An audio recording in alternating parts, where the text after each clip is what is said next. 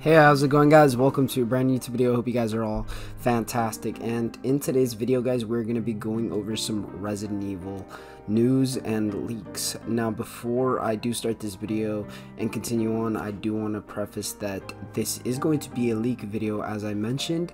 Please take everything with a grain of salt. I'm going to give you guys my honest opinions and my thoughts later in the video, but I just want to preface that please take everything with a grain of salt because this could be turning out real or fake but I'm gonna prove why I think it's fake but maybe it's true. We have seen these kind of posts in the past that have turned out to be fake but there could be a chance that this is real. Without further ado let's just get right into this. So the PlayStation event that is happening on June 7th I'm sorry, June 2nd. I apologize.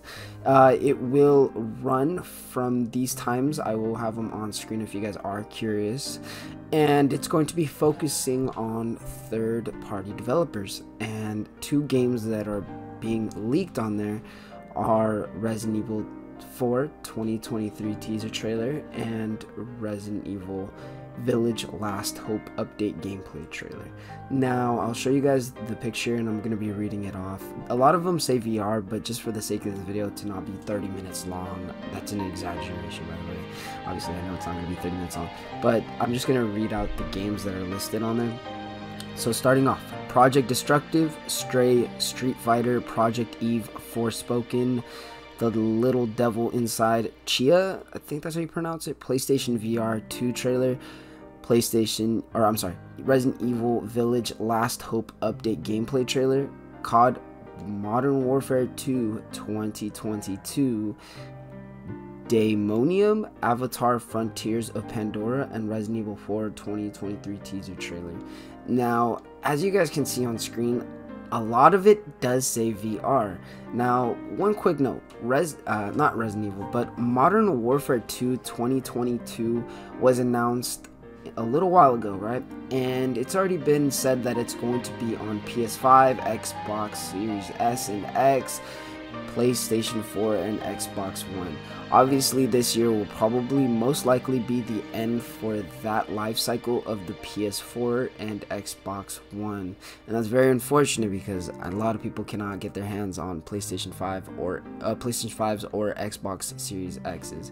I have a, luckily I have a PlayStation 5 and an Xbox Series X, so I should be covered on that end. But a lot of these games on here are mentioned to be with the PlayStation VR 2. Now, Modern Warfare 2 in this hand has the VR port, but I have not heard anything about VR coming to that game. I could be wrong. I could be wrong, but I mean, I'm in the cycle of Call of Duty news every day from one of my YouTube favorite YouTubers, and I just don't see that possibly happening. I mean, there is a chance that this could be true, but keep in mind, Resident Evil 4 is most likely to be coming out 2024. I've mentioned this multiple times or 2023 there's a chance that it come out could come out in 2023 and we could get the announcement this year but i just don't see that happening really there's a chance that resident evil last hope update which is that's what it's leaked to be called or it could be some other type of dlc is going to be revealed at this gaming uh, i'm sorry not this game event the playstation event and resident evil 4 uh, 2023 teaser trailer could be announced at Summer Games Fest, which a lot of people are claiming, and there's rumors and leaks that are thinking that, but I digest.